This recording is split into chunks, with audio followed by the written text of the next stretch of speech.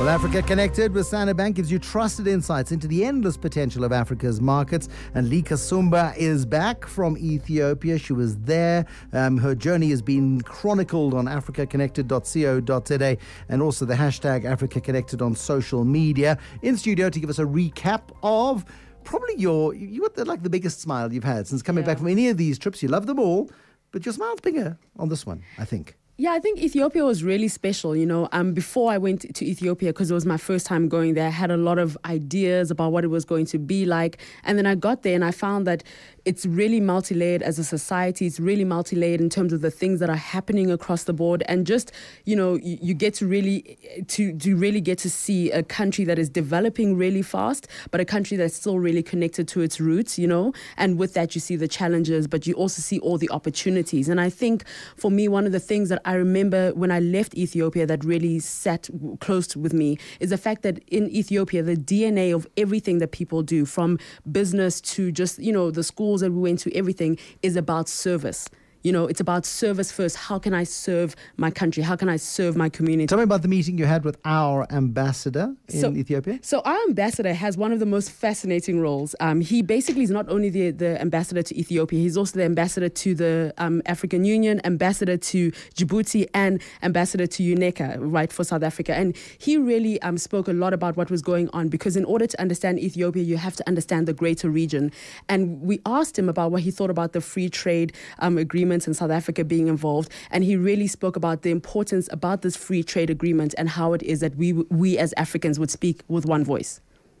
For the continent, I think, is also very important for us as Africans that for the first time we are going to be what we have taken a giant to, a giant step towards uh, economic unification, if you know integration, if you know, if you know what I mean. Imagine we, we've got to the African Union. Imagine we've got to the the, the, the, the, the, free trade area, the Africa free trade area, and we've got all of those.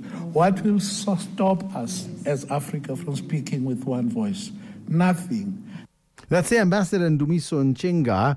Uh, you also then met up with Ethiopian Airlines. Yeah, Ethiopian Airways is impressive. And you know, when they talk about the war on the skies of Africa, they're talking about the fact that for them, I think a few years ago, they did some research that came about and it said that 80% of people who fly within Africa are using international carriers. So for the Ethiopian um, Airlines, when we spoke to the chief of, of, of operations, he literally said that, look, every time an airline goes down in Africa, it doesn't look good for us because they like to partner with them. So that's their premise for working. And that's basically how you see with Ethiopia. Everything is about service, it's about community and neighbors. So that's what they deal with firsthand, you know. But what he also spoke about was, you know, he spoke very clearly about how one of the first um, trips that they had made um, to Nigeria was after Nigeria had, had gained their independence, basically. And so that's how they planned their travel routes pretty much initially. And then he spoke a little bit um, about how, you know, then I asked him, you know, how they deal with government versus business and how it is that they, they're able to manage it because that seems to be the problem with quite a few of the carriers around the continent. And here's what he had to say.